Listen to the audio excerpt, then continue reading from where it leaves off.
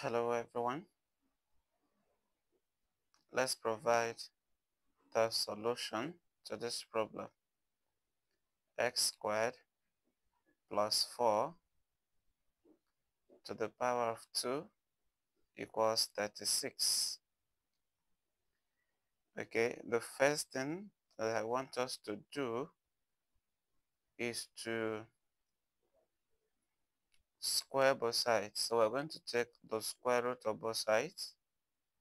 Okay, we take the square root of both sides rather x squared plus 4 you know it was raised to the power of 2 before so on the other side we have plus or minus square root of 36 now so many of my students have asked why is it that we have plus or minus on the other side it is because just take a look at this if you have um if you have um minus 2 to the power of 2 this will still give us plus 4 right?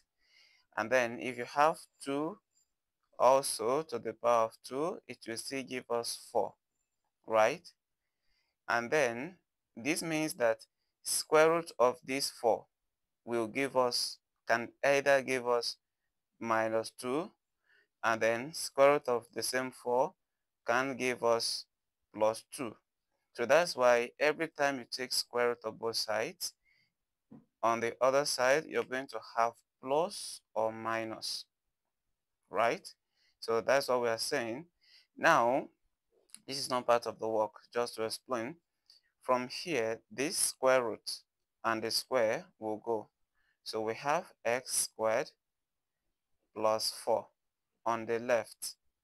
And that will be equal to plus or minus Square root of 36 is 6. Now we have two values. One is positive and the other is negative. So we're having two equations. The first equation is x squared plus 4 equals 6. Right? This is the first equation. And then the second, let me do it on the other side. The second will be x squared plus 4 equals minus 6. And then from here, our x squared will be equal to 6 minus 4. Then on this side, x squared will be equal to minus 6 minus 4. x squared is equal to 2.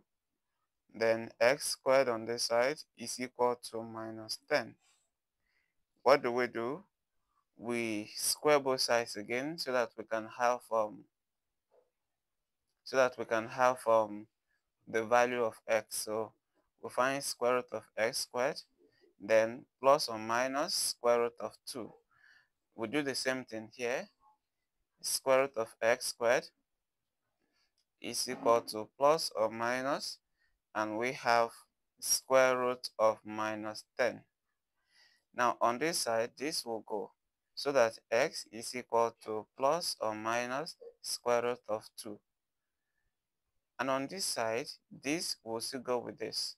So x is equal to plus or minus square root of negative 10. Mind you, because we're having negative square root, it makes this impossible. But since we want to bring out all the solutions, we are going to simplify this. Now from here, our x is equal to root 2 or minus root 2. That's what we have on this side. Then on this side, x is equal to root negative 10 or minus root negative 10. Okay, so this is what we have. And then from here we already have what we, we are looking for. But we can bring out this negative from there since it's making it impossible to get the value of root minus 10 um, I mean this negative will make it impossible for calculator to get the value of this so what do we do? X will be to bring out this negative we can have root 10 times root negative 1, right? Or on this side, we have negative root 10 times square root of negative 1 because if we multiply this it will give us this. Then if we multiply this and this it will give us this now we have x to be equal to now square root of negative 1 is imaginary and we write it as i. So that means we have i times root 10 so it will be i root 10 this is the value.